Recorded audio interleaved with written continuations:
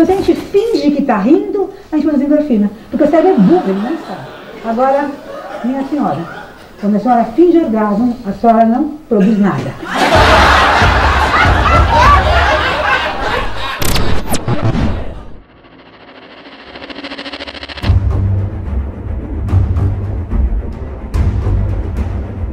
Presta atenção, vendedor poderoso.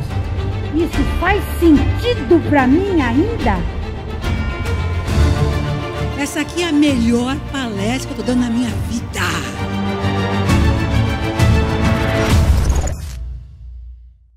Eu comecei a me lembrar da minha infância agora. Será que é Alzheimer?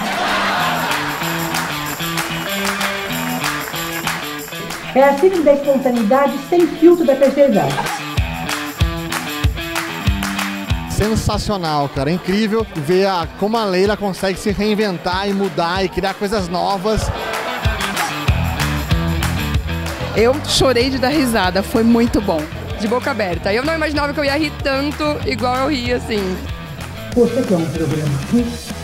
É, é, Ela é maravilhosa, ela é espirituosa, ela é singular, ela é uma pessoa inspiradora.